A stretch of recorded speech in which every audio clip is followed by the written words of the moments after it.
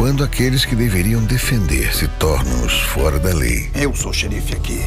Eu digo como as coisas ficam e não o contrário. Você sabe melhor do que ninguém que a polícia é corrupta. Tem gente de poder por trás disso. Dwayne Johnson e Kevin Sorbo estão aqui para nos proteger. O povo daqui merece que alguém lute por ele.